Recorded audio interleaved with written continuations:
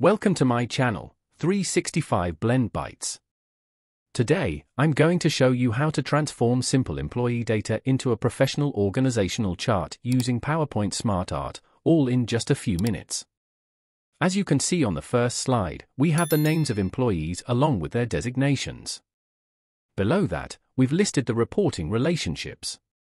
We'll now convert this data into a visual organizational chart using SmartArt. Let's begin by inserting a new blank slide. Now, go to Insert again. Choose SmartArt. Navigate to Hierarchy. And select your preferred layout. Click OK. A sample organizational chart appears with placeholder text. Now, we'll copy the list of employees from the first slide. Ensure it is properly formatted. Switch to second slide. Then click on the SmartArt graphic on the second slide. Open the text pane using the small arrow on the left and click inside. Press Ctrl plus A to select all text, then press Ctrl plus V to paste the copied employee names. Now the employee names are placed in the org chart, but we need to adjust the reporting structure. Let's start aligning the hierarchy based on reporting lines. Employee 2 reports to Employee 1. In the text pane, Click on Employee 2, then press the Tab key. This will indent Employee 2 under Employee 1, clearly indicating the reporting relationship. Employee 3 and Employee 4 report to Employee 2. Click on Employee 3 in the text pane, then press the Tab key twice. This will place Employee 3 under Employee 2 in the hierarchy. Next, click on Employee 4, press the Tab key twice as well. This will position employee 4 under employee 2 at the same level as employee 3. The organizational chart will automatically reflect these changes. Employee 5 reports to employee 1. Click on employee 5 and press tab once to place it under employee 1. Employee 6 and employee 7 report to employee 5. Click on employee 6 in the text pane, then press the tab key twice. This will place employee 6 directly under employee 5 in the hierarchy. Next, click on employee 7 and press the tab key twice. This will position employee 7 at the same level as employee 6, both reporting to employee 5. Employee 8 report to employee 1. Click on employee 8, press tab key once to place it under employee 1. Employee 9 and 10 report to employee 8. Click on Employee 9, press Tab key twice, and it will be placed under Employee 8. Click on Employee 10, press Tab key twice, and it will appear under Employee 8, alongside Employee 9. You can insert a new employee at any level of the hierarchy by simply pressing Enter at the desired position. For example, to add Employee 11 under Employee 8, click on Employee 10 in the text pane and press Enter.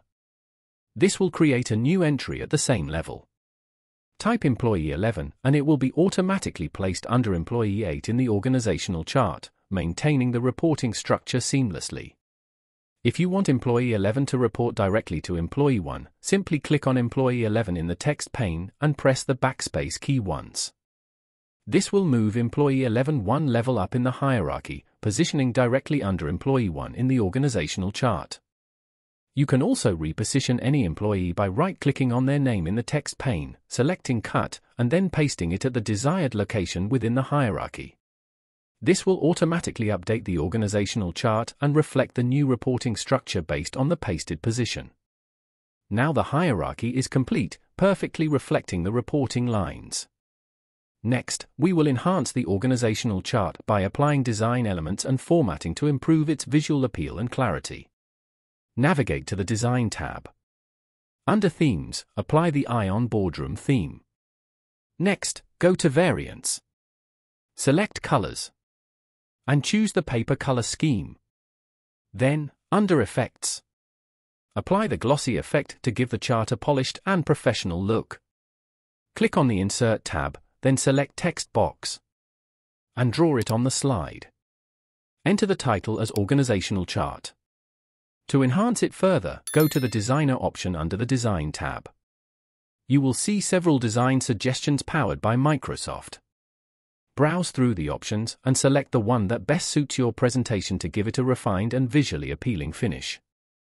Make minor size adjustments if required to ensure proper alignment and spacing. You can also navigate to the Smart Art Design tab and choose your preferred color scheme from the Change Colors option to further customize the look of your organizational chart. You can also go to the Format tab and under Shape Effects, navigate to Bevel, then select Round Convex to give the chart shapes a more three-dimensional and polished appearance. And with that, the organizational chart is complete. You can visit the Layout section anytime under the Smart Art Design tab and choose a different layout that better fits your content or visual preference. This allows you to quickly restructure the chart without redoing the entire hierarchy. Thank you so much for watching this tutorial. If you found it helpful, don't forget to like, share, and subscribe to my channel for more exciting and easy to follow tutorials. Got questions or ideas? Drop them in the comments below, I'd love to hear from you. Your support truly means the world to me. See you in the next tutorial.